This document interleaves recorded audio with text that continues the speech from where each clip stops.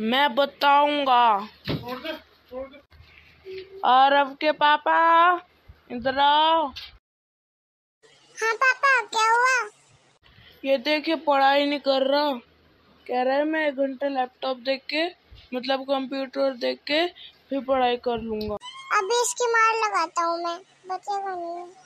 नहीं पापा सॉरी नहीं मैं लगाऊँगा तेरी मार।